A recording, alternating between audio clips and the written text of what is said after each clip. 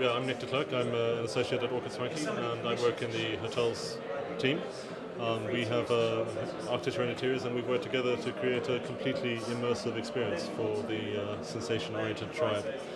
Uh, our, our initial response really was that uh, this is going to be a challenging room to design because we're not designing a con- conventional hotel room in any by any stretch of the imagination.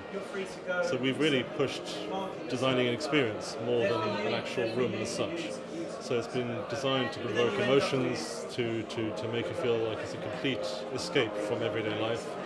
Uh, in effect, our brief is, is an escape to real life, from away from everyday everyday stress and, and difficulties and challenges.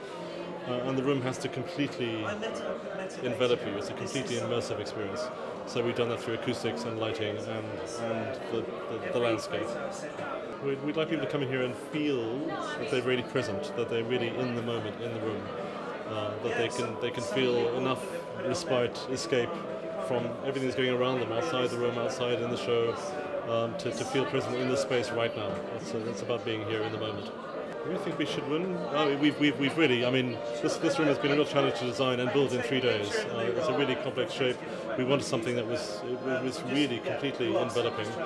Um, and uh, and we think we've uh, achieved, what, what we'd like to think we've achieved, is, uh, is uh, an emotional response, that you come in here and feel something, not just appreciate details. I mean, there are lots of details, lots of ideas in here, but we want to feel that people can have an emotional response to the room, and that, that would be, we've done our job, I think.